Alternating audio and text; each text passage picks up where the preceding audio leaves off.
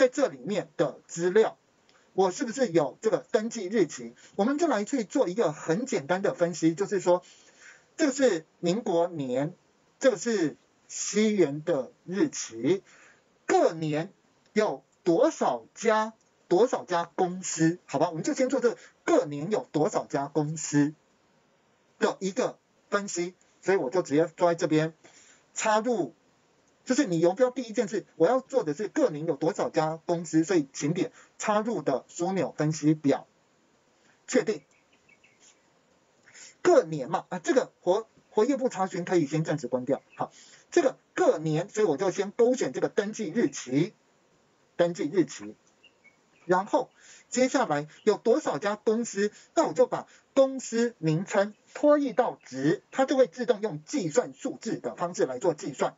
所以呢，这里二零二零年它有一百九十六，然后二零二一年有这些，好，这都不重要，这只是我只是要告诉你说，我们先点枢纽分析确定，大致上我们可以看到，看到是这样子的一个内容。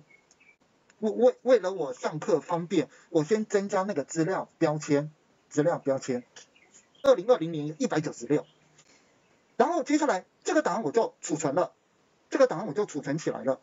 好，就储存，然后关掉。假设我今天我拿到新的资料，二零二零年我拿到从十月到十二月，就是这三个档案，我就直接复制，然后贴到贴到什么地方去？贴到这个二零二一年二月二十，二零二一年的工资登记，然后就直接贴上，直接贴贴到这里面。那这里面本来它只有告诉我说这个。二零二一年一月有一百九十六家，对不对？可是我现在是不是多喂给他三笔资料？我们现在去看刚刚做完的这个成品。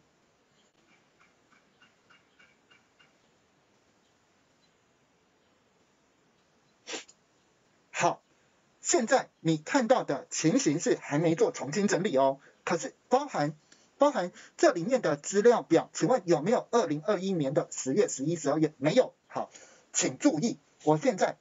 直接在这张图，等一下这个数字会整个直接增加，因为它会整个把我们我刚刚我们做的所有资料清理全部做过一遍，然后这个数字就会增加。我们先来看见证这这件事情，请点选资料的全部重新整理，这个一百九十六一定会往上增加。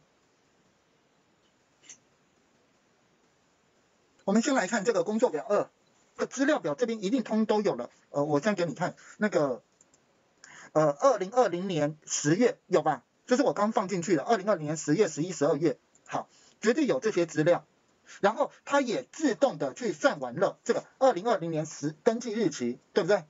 好，也就是你一定要点回来这个地方，然后进行枢纽，呃，或者是枢纽分析图，它都有重新整理。好，然后点选枢纽分析表工具，分析底下的全呃重新整理。你再仔细看，你看现在是不是变成从一百九十六变成一万三千五百零二？